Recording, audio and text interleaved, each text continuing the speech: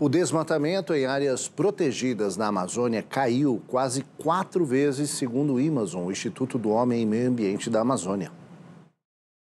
Segundo o monitoramento de imagens de satélites em terras indígenas e áreas de conservação, a área devastada no ano passado foi a menor registrada em nove anos.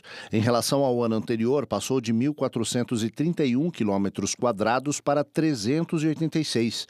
O Amazon explica que estes territórios são prioridade na preservação e a devastação em áreas protegidas é feita depois de invasões ilegais que levam a conflitos com os povos e comunidades tradicionais. Apesar da queda geral, há locais onde a destruição segue intensa. Igarapé-Laje, em Rondônia, com crescimento de 300%, assim como o território Waimiri-Troari, entre o Amazonas e Roraima. Na mesma região, a terra Yanomami registrou aumento de 150% na devastação.